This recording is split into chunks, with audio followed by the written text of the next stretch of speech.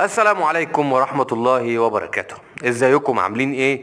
يا رب تكونوا بألف خير وصحة وسلامة أنتوا وكل حبايبكم. ويا رب دايما متقدمين ومتطورين في مشاريع تربية الطيور بتاعتكم. ويا رب نكون بنعرف على قناة طيور فوق السطح. نقدم لكم أي معلومات جديدة أو خبرات جديدة ناتجة عن الاحتكاك بالطيور. إحنا دايما بنقول وبنعيد في الفكرة دي فكرة إنك عمرك ما هتتعلم ابدا بالمعلومات النظرية.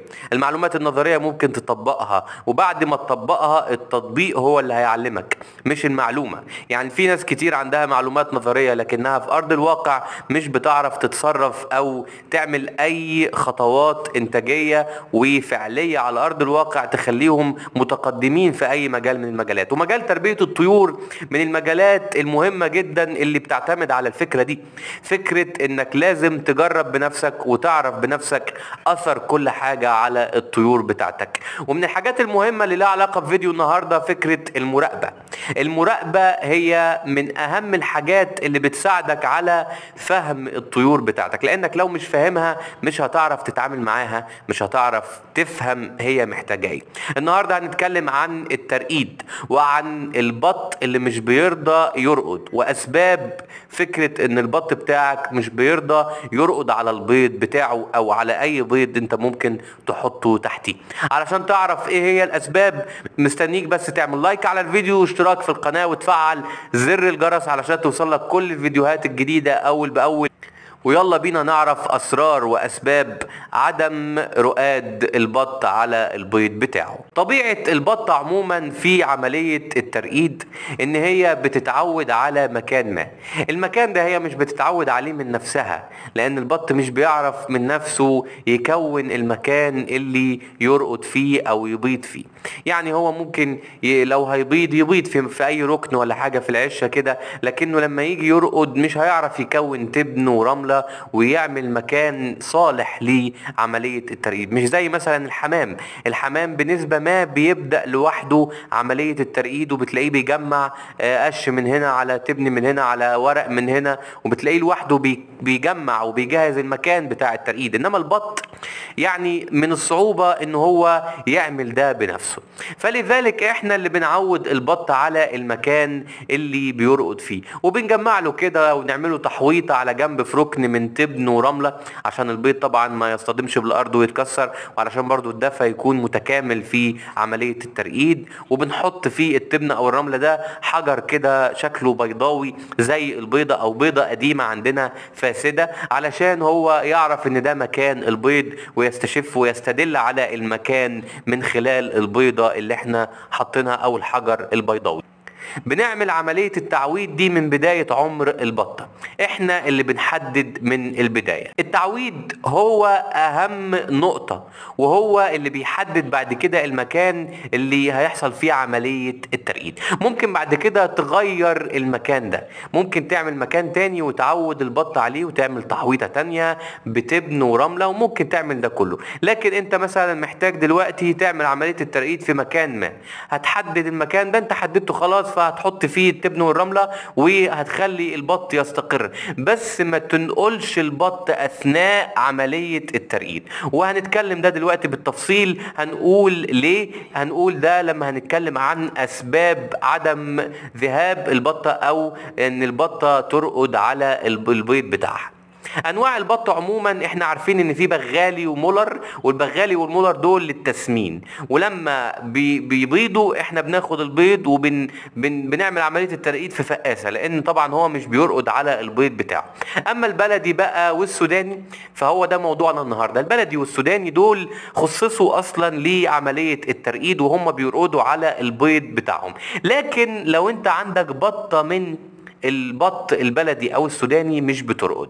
يعني شاذة عن القطيع بتاعها ومش بترقد على البيض بتاعها.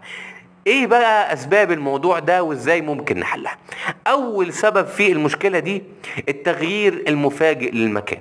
وده قلناه في أول الفيديو إننا لما نيجي نغير المكان اللي بترقد فيه البطة التغيير المفاجئ ده بيعمل عندها إزعاج وبيعمل عندها مشاكل كتيرة جدا وبيخليها ما تعرفش ترقد. زي ما تقول كده هي اتعودت على إن هي بترقد على البيض ده أو شوية البيض اللي بيضتهم دول أو حتى البيض اللي أنت جايبه من بره في المكان الفلاني. هي اتعودت على ده خلاص. هتغير المكان هي مش هتروح ترقد هتتلخبط ه... يعني هيحصل مشكلة ما. ممكن بعد كده لو في بيض تاني بعد ما البيض ده يفقس. بيض تاني ممكن تغير المكان وتدخلها في مكان تاني وتقفل عليها وتعودها على مكان تاني مش مشكلة. إنما بعد ما البيض الأولاني يفقس والبيض التاني برضو ما ينفعش تغير المكان أثناء عملية الترقيد. لازم يفقس البيض ولما تجيب بيض جديد ممكن تغير المكان وهكذا. ده أول سبب بيخلي عملية الترقيد تفسد وبيخلي البطة ما تروحش للبيض بنفسها. تاني سبب إزعاج الناس اللي بتروح للبطة أو بتدخل عليها أو الناس الغريبة اللي ممكن تدخل على البطة. البطة بتتعود على الناس اللي بتربيها وبتجيب لها الأكل وبتحوط لها ال- ال- التحويطة بتاعت البيض وبتتعود على الناس اللي بتتعامل معاها. لو الناس دي كانت غريبة أو مزعجة بأي شكل من الأشكال أو حواليها أي كائنات مزعجة البطة ممكن تسيب البيض وعملية الترقيد تفسد وتحصل فيها مشاكل ويتعطل الترقيد وما نلاقيش بعد كده البيض فقس و- وممكن تلحقه بعد كده بفقاسة أو ما تلحقوش. ومن الأسباب برضو آه، هي إن البطة يجيلها بيض جديد.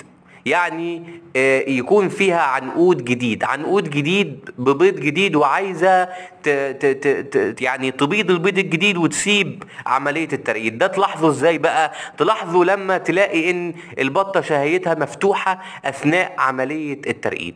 لو هي شهيتها مفتوحة وعايزة تاكل كتير وتتناول طعام كتير فده دليل على إنها آه، جواها عنقود جديد من البيض آه، مخليها عندها شهية كبيرة جدا مفتوحة وده بيخليها تسيب عملية الترقيد وبتسيب البيض اللي هي راقدة عليه مرة واثنين وثلاثه بشكل متكرر لأنها مهتمة بالبيض الجديد اللي جواها ومهتمة بتكوين عنقود جديد من البيض. وبرضو من الأسباب اللي بتعطل عملية الترقيد وجود ذكر مع البطة في المكان اللي هي قاعدة فيه. طبعا إحنا عارفين إن عملية التكسير آه لما بتحصل بين الذكر والنتاية ده ممكن يعطل النتاية. بس لو ده مش هيعطل مش هيعطل يعني وده طبيعي ممكن كمان يساعدها ويزود خصوبتها. ده لو مش هيعطل من ناحية التكسير هيعطل من ناحية الانشغال.